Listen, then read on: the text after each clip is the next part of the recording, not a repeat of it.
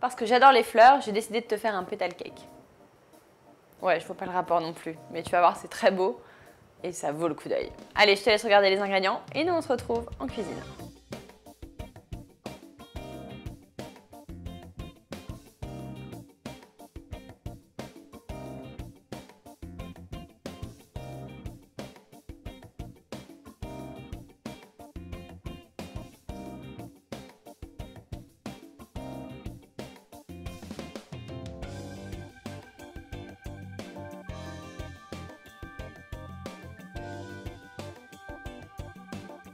Je commence par préparer la crème au beurre. Pour cela, je vais déjà préparer un sirop avec le sucre, 8 centilitres d'eau et quelques gouttes de jus de citron. Allez, pour que le sirop de sucre se forme, il faut que ça arrive à ébullition et ensuite que ça boue pendant au moins 2 minutes. Pendant ce temps, nous, on va s'occuper des 8 jaunes d'œufs et des 2 œufs entiers que l'on va fouetter au robot. J'incorpore le sirop de sucre en filet pendant que le robot est en route. C'est maintenant au tour du beurre pommade d'intégrer progressivement le mélange avec un robot toujours en marche. Et voilà, on obtient une très belle crème au beurre. Je divise la crème au beurre en trois et je vais les colorer chacune un petit peu. L'idée c'est d'obtenir trois oranges différents. Je réserve chaque crème au beurre dans une poche à douille différente.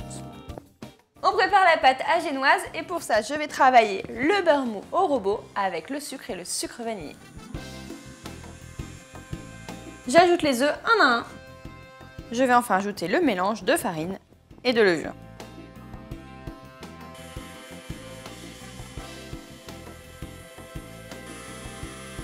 Je divise la pâte en 6. il faut des portions égales puisqu'on va les cuire le même temps au four. Je vais maintenant colorer en orange de façon progressive toutes mes pâtes. J'ai mes 8 couleurs d'orange différents, comme ça je vais pouvoir faire un beau dégradé. Je vais les faire cuire chacune 12 minutes à 180 degrés dans un cercle à pâtisserie. Voilà, je vais bien égaliser la pâte dans le moule. C'est parti Je vais maintenant procéder au montage du gâteau. Donc je vais empiler les génoises, de la plus foncée à la plus claire, en mettant entre les deux une couche de mascarpone simplement battue avec un peu de sucre. J'utilise le reste du glaçage au mascarpone pour masquer et combler les petits trous sur le côté. Allez, je vais venir faire hop, des petites pointes, comme ça.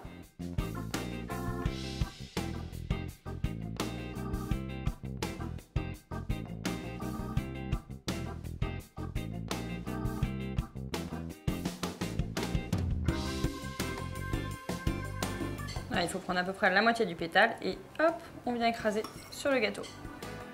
Et voilà mon magnifique pétale cake. J'espère que tu prendras tout autant de plaisir à le réaliser chez toi. A très vite dans cette roulette.